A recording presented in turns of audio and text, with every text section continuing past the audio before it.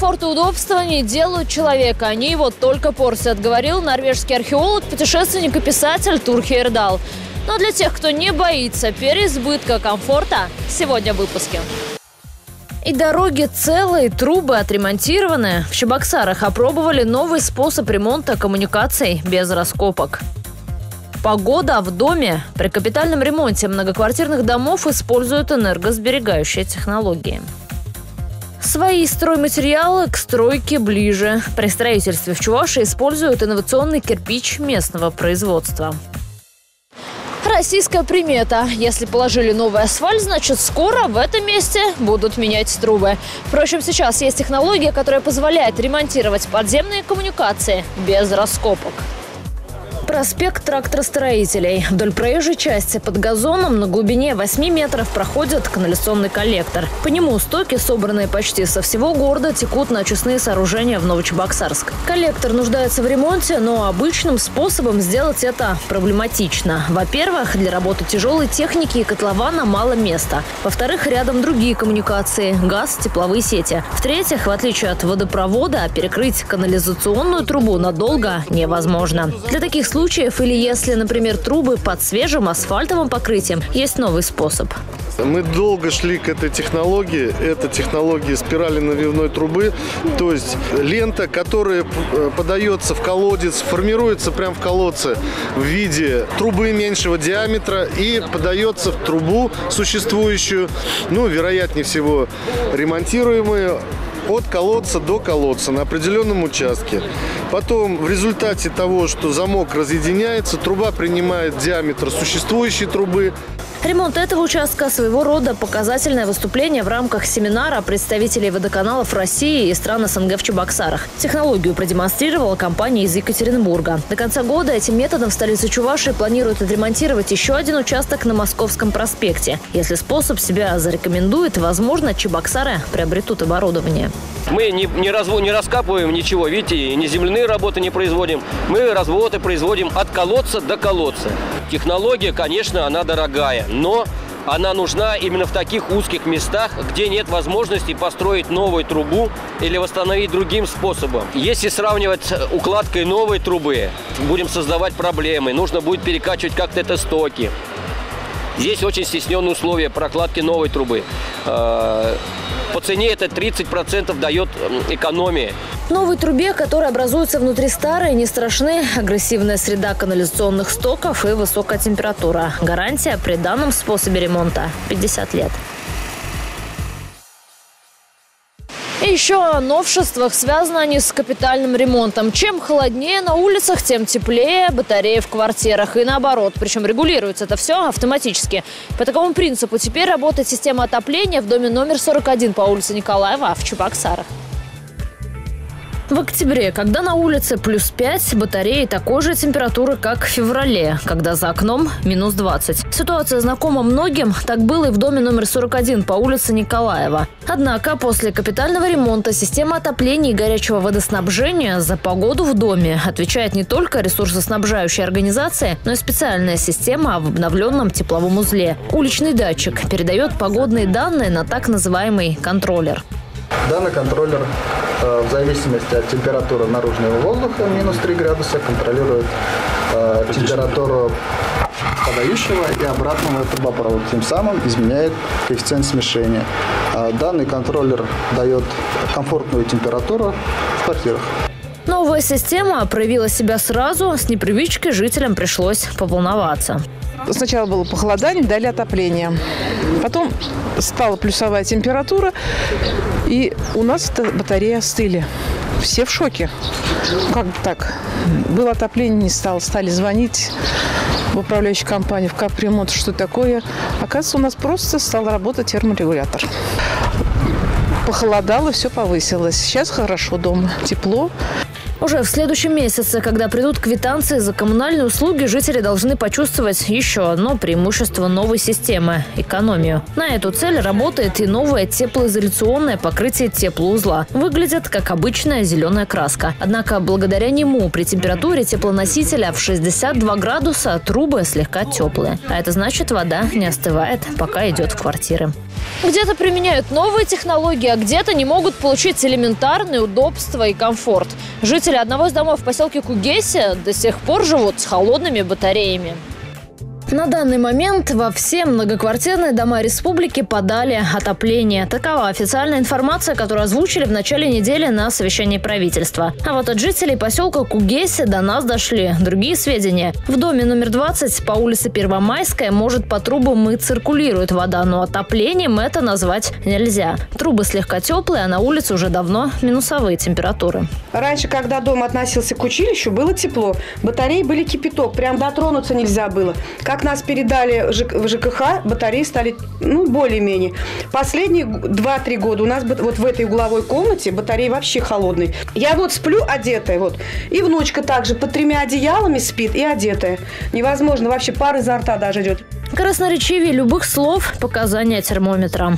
Вот, давайте посмотрим. Вот, пожалуйста. 15.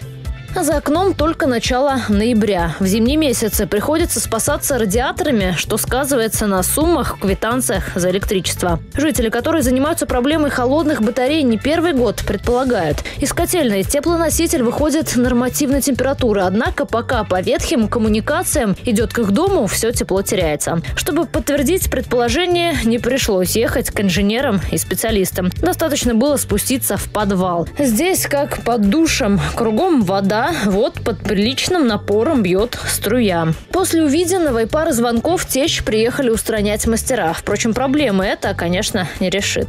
Почему-то собственники жилья сами не хотят свои проблемы решать. Необходимо отметить, что дом по Первомайской 20 – это бывшее общежитие училища, которое на сегодняшний день на 75% приватизировано. То есть получается, что три четверти жилья в этом доме, имеет своих хозяев, имеет своих собственников. Поэтому, по сути дела, данные проблемы должны решать собственники. Э, со своей стороны, администрация Кугейского сельского поселения в течение года провела три конкурса на определение управляющей компании, но все три конкурса были безрезультатными, потому что не было ни одной заявки. Ну, согласно закону мы должны снова объявить конкурс, поэтому в ноябре будет опять очередной конкурс на выбор подрядной организации. Но ну, управляющая организация, но я думаю, что он опять пройдет безрезультатно, потому что ситуация в этом доме действительно аховая. Он в крайне запущенном состоянии. И э, на сегодняшний день я вижу выход только в одном – это создание ТСЖ. Впрочем, возможно, виновата не только старая коммуникация. Дело в том, что в квартире на верхнем этаже никто не живет. Из батареи просто не стравили воздух. В администрации поселения предложили поискать собственников, опять же, самим соседям. А вот в администрации района обещали помочь. Потому что верхние соседи не строили воздух. Данная информация к нам поступила тоже вот только что в отдел. В первую очередь надо принять все меры для того, чтобы установить этих собственников. Эти возможности тоже имеются. Теплоснабжающей организации надо убедиться, что действительно подтвердить этот факт, что на верхних этажах произошла пробка воздушная. Если будут трудности по установлению собственника, есть меры, которые по вскрытию жилых помещений. Это с приглашением участкового уполномоченного полиции, администрации сельского поселения. Мы представитель направим от отдела собственников меры будут приняты. Сделает этот шаг батареи теплее или нет, пока неизвестно. Но это единственное, что можно предпринять в ближайшее время. Мы будем следить за ситуацией.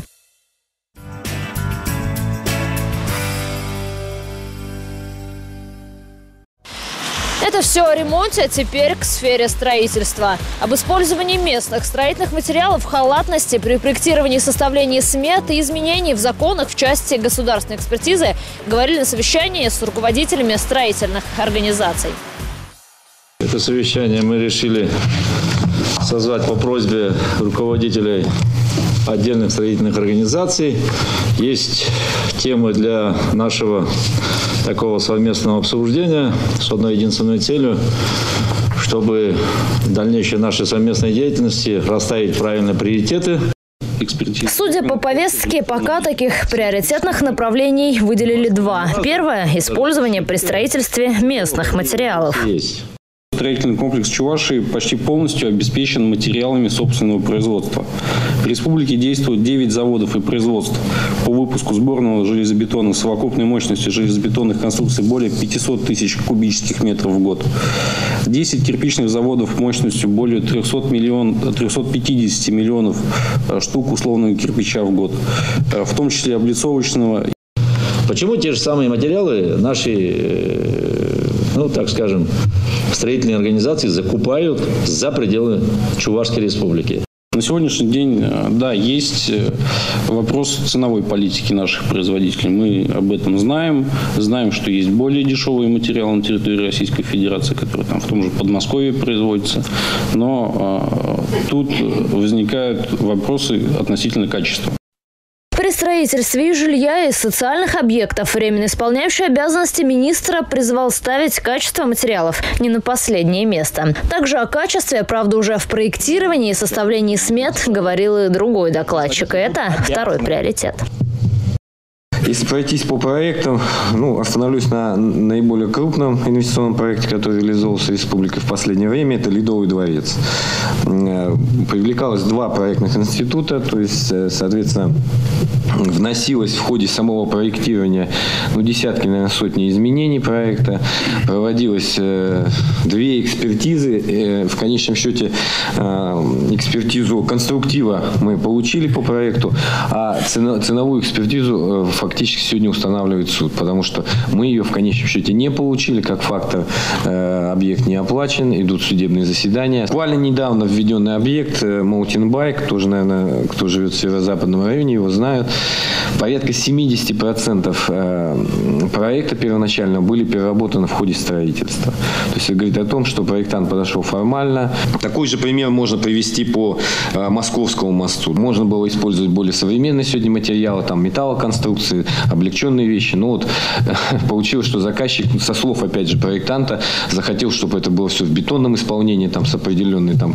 конструкцией, что в конечном счете дает порядка 200 миллионов удорожания данного проекта проекта. Согласно Список я могу продолжить, отметил Иван Моторин. Чтобы избежать таких неприятных историй хотя бы при строительстве детских садов, можно использовать типовые проекты. Однако у нас почти каждый муниципалитет стремится сделать что-то уникальное. Обсудили представители строительной отрасли и изменения в законодательстве по части экспертизы. Со следующего года документы будут принимать только в электронном виде. Кстати, про местные материалы для строительства. Мы побывали на объекте, который возводят из инновационных паризированных керамоблоков, которые производят в Чувашии.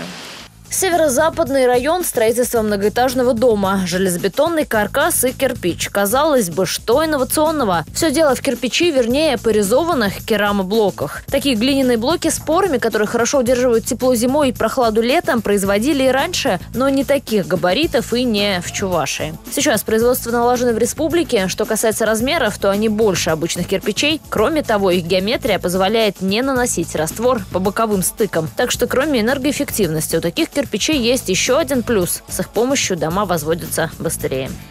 На строительстве этого дома используем чисто свои материалы. Поризованный кирпич, ну, который э, создает нам экономию ну, в плане расхода материалов, расхода раствора. За счет э, объемности его проще, быстрее ложить.